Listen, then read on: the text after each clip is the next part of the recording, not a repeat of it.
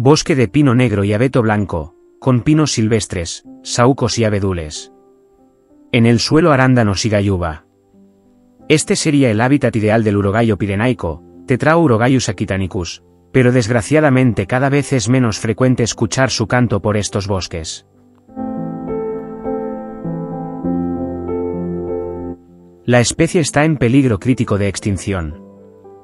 El cambio climático, por sí solo, no explica la disminución drástica del número de individuos. Si el bosque está sano, si el ecosistema está en equilibrio, al urogallo le va mejor.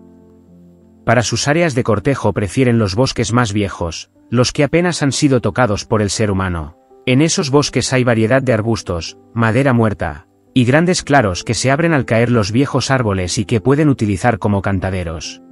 Pero, la apertura de pistas forestales, por la explotación maderera insostenible o por la expansión de infraestructuras como las estaciones de esquí.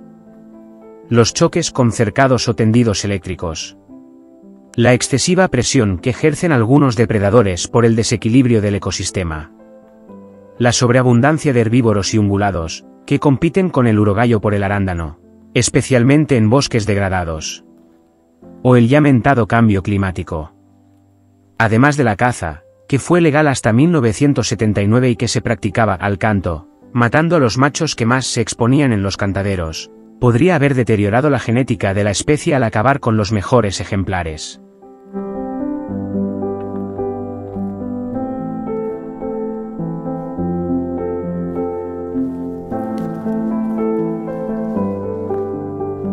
Una presión añadida en los últimos años es el creciente ajetreo de gente en la montaña, especialmente en invierno. Con raquetas o esquís de travesía, cada vez más personas llegan a rincones que antes eran dominio exclusivo de la fauna salvaje. Los machos de urogallo apenas se mueven en todo el invierno para ahorrar energía, porque deben sobrevivir a base de agujas de pino, un alimento muy pobre, si se les molesta en esa época crítica y tienen que estar volando de un lado para otro, gastando esa preciosa energía, pueden llegar al celo en primavera muy debilitados o incluso morir. Sin embargo, en primavera incorporan alimentos ricos en proteína como brotes, hojas y flores. En verano y otoño los frutos son su principal sustento, siendo el arándano su preferido. Los pollos, por su parte, tienen una dieta insectívora.